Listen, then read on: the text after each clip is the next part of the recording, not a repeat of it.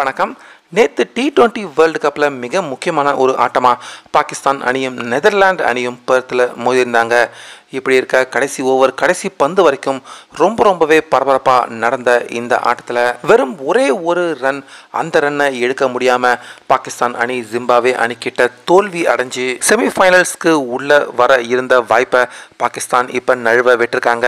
இப்படி இருக்க பாகிஸ்தான் அணியின் முன்னாள் அதிவேக பந்து வீச்சாளரான ஷொய்ப் அக்தர் நம்ம இந்திய அணியையும் அதே போல் பாகிஸ்தான் அணியையும் இரண்டு பேரையுமே ஒப்பிட்டு நம்ம தமிழக பிளேயர் ரவிச்சந்திர அஸ்வின் அவரை பாராட்டி பாகிஸ்தான் வீரர்களை செம்மையாக பார்த்தீங்கன்னா கழுவி ஊதிருக்காரு அதாவது முன்னதாக நம்ம இந்திய அணியும் பாகிஸ்தான் அணியும் மோதிருந்தப்போ கடைசி பந்தில் இரண்டு ரன்கள் வெற்றிக்கு நம்ம இந்திய அணி தேவைப்பட்டிருந்தப்போ ரொம்ப புத்திசாலித்தனமாக பந்தை வைட் விட்டு அதுக்கப்புறமா சிங்கிள் அப்படின்னு அஸ்வின் எடுத்து நம்ம இந்திய அணிக்கு ஒரு செம்மையான வெற்றியை வாங்கி கொடுத்துருப்பாரு. ஆனால் அதே மாதிரியான ஒரு நிலைமை மேலே நேற்று பாகிஸ்தான் அணி விளையாடுறப்போ ஒரு பந்துக்கு மூன்று ரன்கள் தேவைப்பட்டிருந்தது.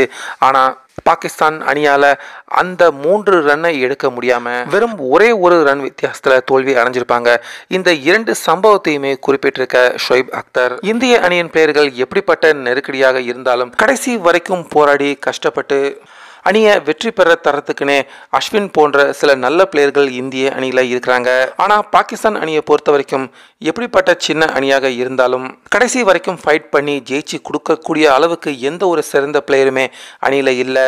இதுக்கு சரியான ஒரு எடுத்துக்காட்டாக நேற்று நடந்த ஆட்டத்தை தான் சொல்லணும். அஸ்வின் மாதிரி புத்திசாலித்தனமாக பாகிஸ்தான் அணியை ஜெயிக்க வைக்க யாருமே இல்லை அப்படின்னு இப்போ ஷோயிப் அக்தர் அஸ்வினை பாராட்டி பாகிஸ்தான் அணியை சரம் மாதிரியாக விமர்சித்து நம்ம இந்திய அணியும் பாகிஸ்தான் அணியையும் ஒப்பிட்டு இந்த விஷயத்தை பார்த்தீங்கன்னா இப்போ ஷோய்ப் அக்தர் அவர் சொல்லியிருக்காரு.